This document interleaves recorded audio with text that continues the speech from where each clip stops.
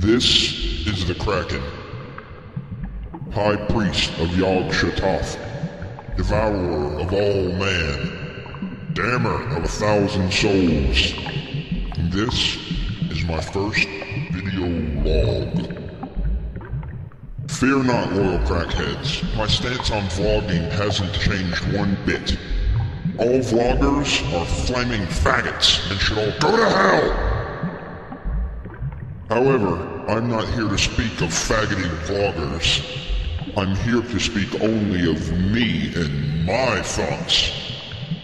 Now, before we move on, I would like to announce my new gift to humanity. Ask the Kraken. In my gift, I'm going to take it upon myself to answer your meandering, insipid questions. Now let's see here. Our first question is from Damien Lorch. And he asks, Dear Kraken, what is your opinion on whale poachers?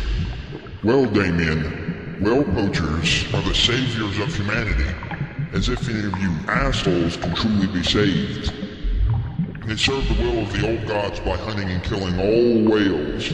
And any of you shit fucks who curse your bones decide to impede these people looking at you, whale wars, should all go to hell. In fact, I'll put you in hell myself if you decide to stop these magnificent people from doing their holy work. And that, Damien Lorch, is my opinion on whale poachers.